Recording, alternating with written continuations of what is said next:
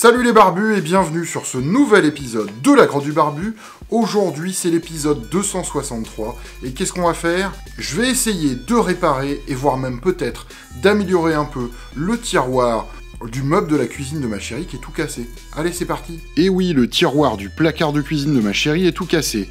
Donc on va essayer de le réparer mais surtout lui fabriquer des rangements pour mettre tous ses ustensiles de cuisine.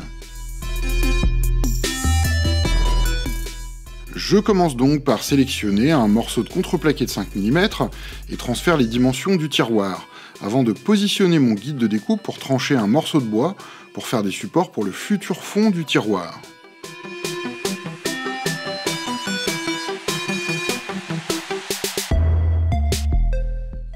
Je commence à couper des morceaux de 1 cm de large sur ce gros morceau de bois un peu triangulaire pour pouvoir ensuite les tailler en largeur et former des éléments sur lesquels le fond du tiroir va venir se poser. Je découpe mes éléments à 2 cm de large et je peux aussi commencer à couper le fond aux bonnes dimensions.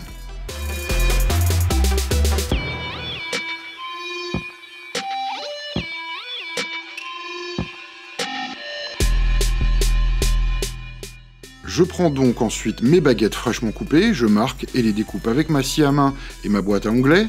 Je fais ça pour les deux longueurs.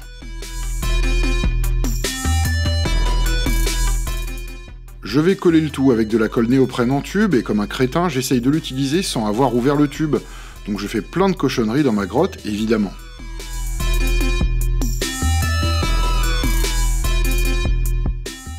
Cette baguette de 10 mm de large est la dimension entre l'ancien fond et le bas du tiroir. J'essaye de réparer sans trop modifier le tout, et je mets en place les baguettes après avoir mis de la colle, avec des pinces et des serre-joints. Et découper les morceaux de baguette pour faire la largeur du tiroir, toujours avec ma scie japonaise et ma boîte à onglets, que je colle ensuite au tiroir.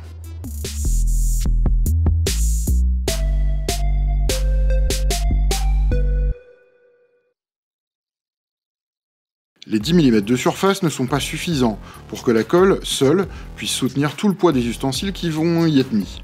Donc je marque à 5 mm tout le long de l'emplacement de la baguette avant de pré-percer et enfoncer de force une vis qui permettra au tout d'être beaucoup plus solide.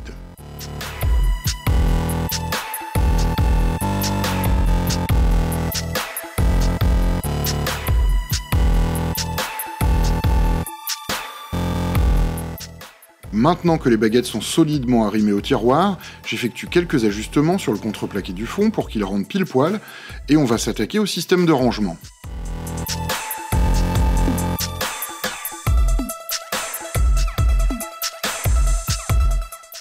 J'ai pris des morceaux de MDF qui traînaient dans ma grotte et je les découpe en bandes de 30 mm de haut.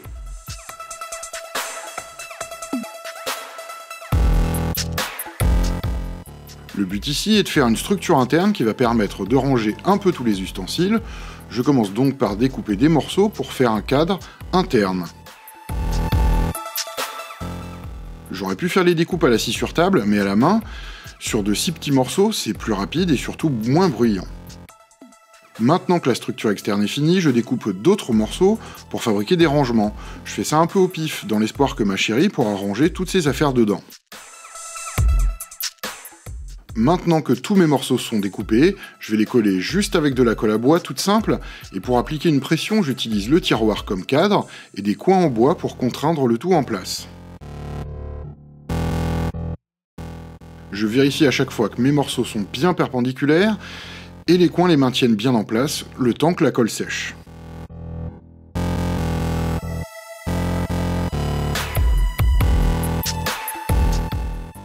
Veux aussi créer un rangement mobile qui prendra toute la largeur du tiroir.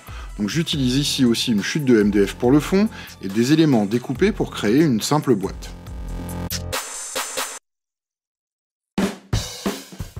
Maintenant que tous mes éléments sont découpés, je vais pouvoir coller ça, et ici je vais utiliser uniquement de la colle et des serre-joints. Le MDF est bien trop fin pour y mettre des vis.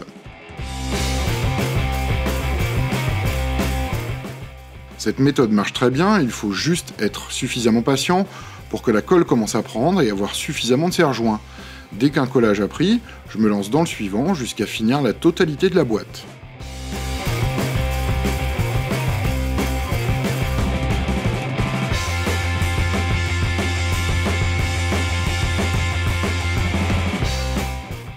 Vu que c'est pour ma chérie, j'essaye de m'appliquer. C'est pas pour chez moi ou pour ma grotte, donc j'évite de jouer au Goret des Landes et je prends mon temps pour m'assurer que la boîte est faite correctement.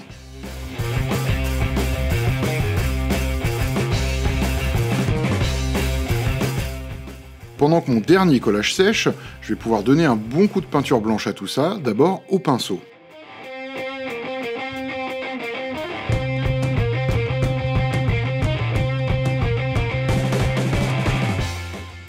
Première couche est plus du badigeonnage, une sous-couche en quelque sorte que le bois va absorber, donc je ne me formalise pas des éventuelles bavures et coups de pinceau.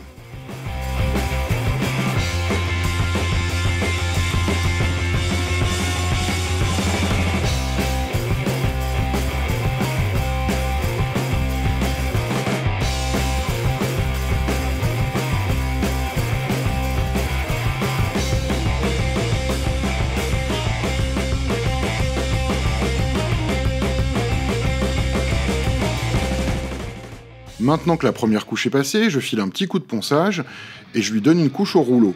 Les pinceaux laissent des marques de poils, sûrement dues à la faible qualité de mes pinceaux, mais autant tenter le coup avec le rouleau.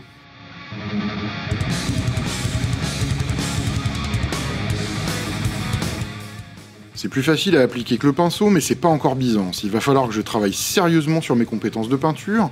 Je passe donc une première couche sur la boîte et une deuxième couche sur le reste.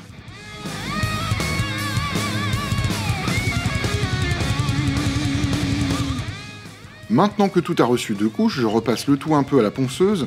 Le résultat au rouleau est moins pire, mais pas encore nickel.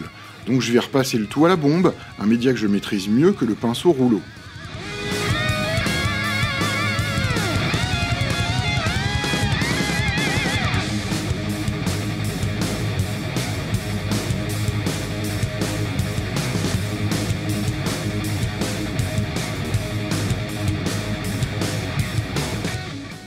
Mes bombes datent un peu et j'ai eu pas mal de problèmes avec celle-là. Mais j'ai tout repassé avec des bombes neuves sur mon balcon que je n'ai pas filmé, deux couches, avec un résultat vraiment nickel.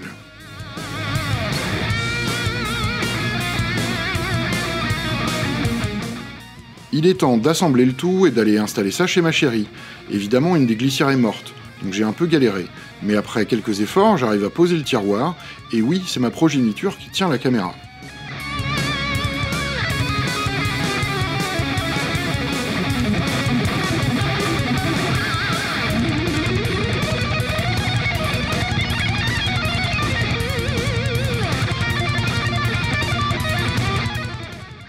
Moult gros mots, le tiroir et ses rangements sont fixés et semblent plus ou moins convenir à ma chérie, donc pour moi, c'est une victoire. Alors, qu'est-ce que ça donne? Eh bien, c'est réparé. Alors, bien sûr, une de ces glissières est complètement morte, donc ça aussi, je vais le réparer, je vais changer les glissières, euh, mais c'est plutôt pas mal. Première chose à remarquer, c'est que bien sûr, au début, je voulais juste mettre de la colle, mais sur un seul centimètre d'épaisseur, qui doit recevoir tout le poids des éléments et des ustensiles qui vont être mis sur le tiroir, c'était trop faible. Donc j'ai décidé de mettre des vis. En tout cas, le fond de son tiroir ne se barre plus, donc elle peut mettre ses ustensiles, c'est déjà pas mal, euh, mais euh, il y a de la marge de progression. Comme je l'ai expliqué, j'ai essayé d'être un peu moins cradoc, euh, ce qui a marché, et j'ai eu quelques problèmes avec la peinture. La peinture au rouleau au pinceau, je suis pas encore un spécialiste, par contre c'est vrai que la peinture à la bombe, euh, je maîtrise beaucoup plus. Peut-être d'ailleurs je ferai un épisode spécial sur comment peindre correctement avec une bombe. Si ça vous intéresse, n'hésitez pas à laisser des commentaires. Et la peinture à la bombe m'a un peu sauvé et m'a donné un rendu blanc correct. Que bien sûr j'ai cradé ensuite avec mes doigts en installant ça avec sa glissière qui s'est ruinée. Avec la graisse de la glissière, bien sûr. Donc le blanc c'est bien mais c'est super salissant. En tout cas, l'objectif principal qui était de réparer le tiroir, c'est fait. Euh, j'ai rajouté une petite organisation, ce qui est encore à régler, mais ça, ce sera euh, pour euh, deux prochains pseudo-épisodes ou mini-épisodes. Mais en tout cas, je suis plutôt content, et apparemment ma chérie aussi est plutôt contente. Donc ça, c'est du gros win Voilà, c'est tout pour cet épisode. Tu as des questions, des insultes, tu sais comment faire. Tous les liens pour me joindre sont dans la description. Bien évidemment, tu peux laisser des commentaires et bien sûr, tu t'abonnes. Tu peux aussi rejoindre le clan des gentils barbutipeurs qui m'envoient quelques pépettes tous les mois et qui me permettent de vous proposer des épisodes encore plus géniaux. Tu peux aussi passer sur le live. Depuis quelques temps, bah, c'est tous les lundis soirs de 21h à 22h, une petite heure, pour poser des questions. euh, blablater entre barbus. Voilà, c'est tout pour cet épisode 263, j'espère qu'il vous aura plu. En attendant le prochain, faites des trucs, inspirez-vous et que la barbitude soit avec vous.